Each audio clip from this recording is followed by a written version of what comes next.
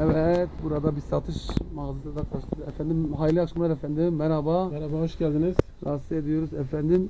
Ee, örgü tuhafe, çok eski bir tuhafe. E, sizin tuhafeniz efendim kaç yıllıktır? Yani çok 1993 yılından, yılından bu yana faaliyetteyiz. Satışlarımıza devam etmekteyiz. Evet.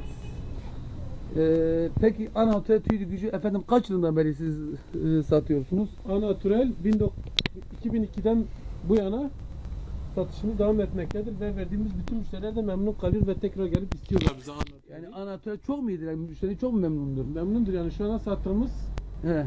sattığımız kişiler memnun yani tekrar geri dönüşü var. Bizden istiyorlar. Peki hiçbir Anatürel'i. şikayeti yok mu efendim? Kokusu veya şey başka bir şikayeti yok mu yani? Başka bir şikayeti yok mu bir şeyden?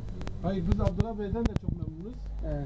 Peki, Onun üründen de çok memnunuz. Yalnız şu ana kadar biraz eksiklik oluyor. Sık sık bize uğramadığı için biz balında bazen sıkıntılar yaşayabiliyoruz. nasıl hani, yani şikayetiniz var o zaman? Abdullah Bey'den bu konuda şikayetimiz var. Sürekli bize mal temin etmiyor. He.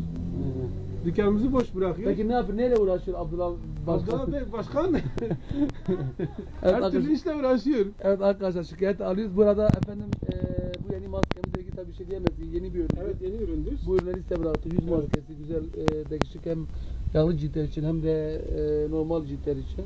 Çıkıyor. Bir de artı tüy yok ediciyle zaten tanışıyorsunuz. Evet.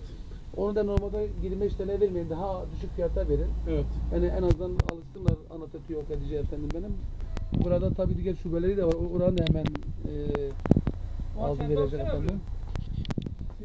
Evet arkadaşlar çok değişik bir tuhafiyemiz. Efendim iyi çalışmalar istedim. efendim. Merhaba dayıcım. Evet arkadaşlar bir içeri daha